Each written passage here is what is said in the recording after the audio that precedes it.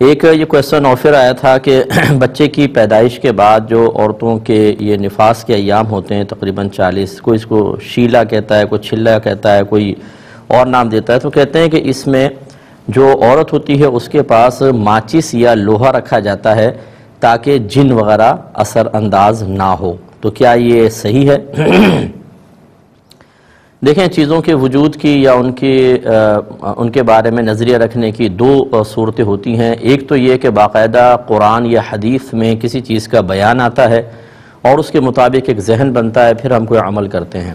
यहाँ ऐसा तो नहीं है कि कुरान या हदीस ने कोई तालीम दी हो कि ये चीज़ें रखें तो जिन नहीं आएँगे। और एक होता है कि हमारे दरमियान ख़ानदान के अंदर चीज़ें मरूफ हो जाती हैं। अब वो मरूफ शुदा चीज़ें भी दो होती हैं। या तो नसूस क़ुरानिया या हदीस के ख़िलाफ़ होती हैं। इन पर अमल करना हराम और गुनाह कबीरा है। जैसे नबी करीम सल्लल्लाहु अलैहि वसल्लम ने माह सफ़र की नहूसत का इनकार किया। ये उस ज़माने में कुफ़ार में राइश था। नबी करीम ने फरमाया, वाला सफ़र। ये सफ़र कोई चीज़ नहीं है। ये आम महीनों की तरह ही होता है। और उसमें एक रिवायत के मुताबिक बीबी फ़ातिमा रदी अल्लाह तहा का निकाह हज़रत अली और रदी अल्लाह तहों के साथ माह सफ़र में हुआ। लेकिन हमारे ख़ानदानों में क्या मशहूर होता है कि माह सफ़र एक नहूसत का महीना है, आसमान से बलाएँ नाजिल होती हैं। हमारे अतराफ़ में कई ख़ानदानों में ये लफ्ज़ मशहूर है, ये खाली का महीना है। यानी इसमें निकाह नहीं होगा, जो निकाह होगा तो आफात आएँगी। बाकी ग्यारह महीनों में होते हैं, उसमें ना तलाक़ी होंगी, ना झगड़े होंगे, ना फड्डा होगा, ना कुछ होगा। इस एक महीने में सारी बलाएँ आएँगी। तो वो और फिर उस सूर्य मुजम्मिल गोली, आटे की गोलियों में पड़ के मछलियों को खिलाना है अब ये चूँकि नस से हदीस के ख़िलाफ़ है, मजमून हदीस के ख़िलाफ़ है, इन चीज़ों का एतक़ाद रखना गुना होगा। और दूसरे हमारे घर में मरूफ वो चीज़ें होती हैं कि जो कुरान हदीस के बर रास्त ख़िलाफ़ नहीं है और ना उनका कोई ऐसा कोई मजमून है कि जो इनसे टकराता हो।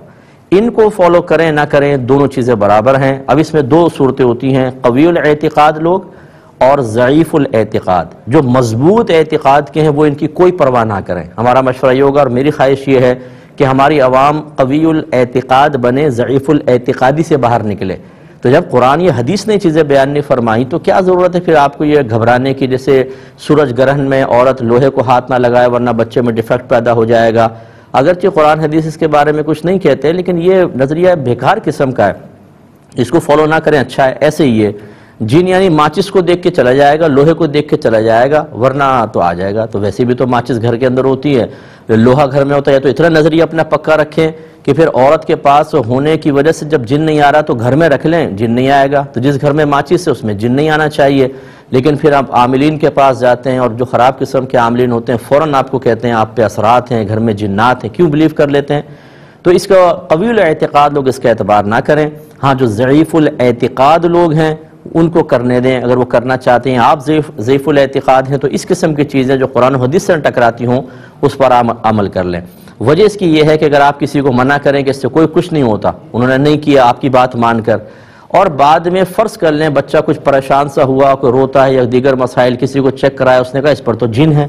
तो वो फ़ौरन जो है ना, वो आपके ऊपर इल्ज़ाम लगाएँगे। देखा हमने तो पहले कहा था कि जिन्नात आते हैं और तुमने मना किया था।